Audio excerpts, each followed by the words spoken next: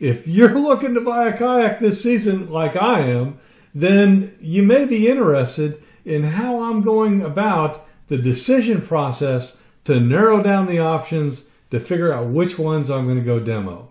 Stay tuned. Welcome back. If you're new to the channel, we cover kayak modifications, spin, and fly fishing. So poke that subscribe button so you don't miss anything. Over the last couple weeks, I've spent a lot of time, and I know you guys have too, giving me feedback on what are the competitive options I should examine as I make my decision. And as a result of that feedback, I've created this spreadsheet right here that captures all of the input.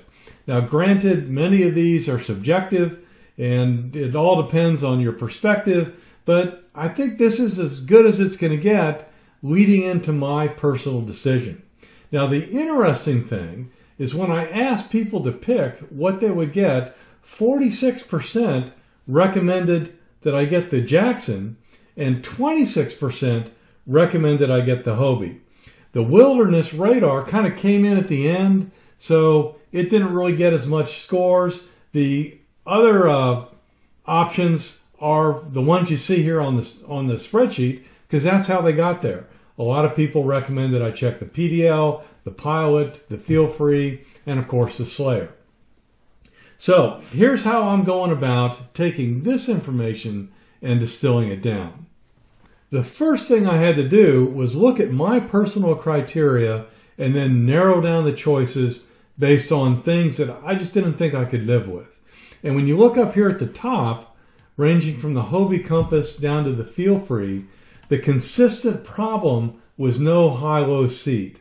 Based on where I fish, I really need to have some additional elevation when I need it, and I also want to be able to drop down to get out of the wind to be able to move a little bit faster. The other thing is I spend a heck of a lot of time in really shallow water. So the ability to be able to operate the boat in, you know, a foot or so of water below my hull is pretty critical. And for all these with the traditional removable propeller drive, I'd have to take that out and it just end up sitting on the bow of my kayak for most of my trip. So for those reasons, I eliminated the uh, propel down through the Feelfree.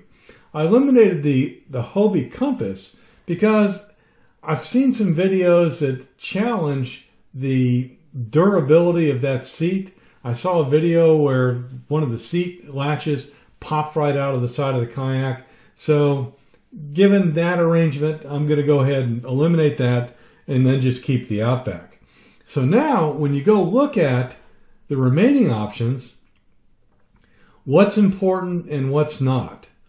So when I looked at what was important to me, I moved all of the things that were important up to the top and I dropped the things that weren't really important to me, but maybe to you, down to the bottom. So for example, I don't really care about cup holders. I don't really care about having an open bow trunk as long as I have has space. I don't care about having a paddle included because I'm going to want to buy the paddle that's right for me. So now let's look at these top three options. And to do that, I popped them into another place on my spreadsheet. And then where everything was the same, like speed, the ability to do reverse, things like that, I just dropped that down to the bottom of the spreadsheet because they're not really worth considering. They're all the same. And that left me with the key items up here at the top. And based on those, I knew I, I need to get down to just two choices. So I decided to really take a look at the characteristics of that wilderness. And after looking at it and you know poking it and kicking the tires in the store, I decided I need to eliminate that because I just wasn't confident that the drive system, even though it had that great kick to be able to go up to zero draft instantly uh, was going to meet my criteria. And it just didn't feel like it was as robust and solid as the drives on the Hobie or the Jackson. So with that, I ended up down with the two options. And now before I go out and actually uh, demo them, I needed to, to rate to myself where they would stack up. And so I weighted each of the key criteria to me, making sure they added up to 100, 100%. And then for each, for each kayak, I went and scored that particular criteria against the weight. So for example, on length, I weighted that as 5% of my decision. And given that the Hobie was just a little bit shorter than the Jackson, I only gave it four point wise. The ability to move in shallow water, I think is really, really important to me. And so that's 20% of my de- decision criteria. And the fact that the Hobie can operate in two or three inches of water got it a score of 18, but that zero draft ability where it comes all the way up on the uh, Coosa got it a full 20.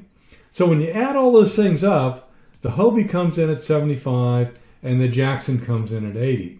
Then when you go look at the things that I would need to buy to help fully outfit each of them, the Hobie also ends up being $400 cheaper.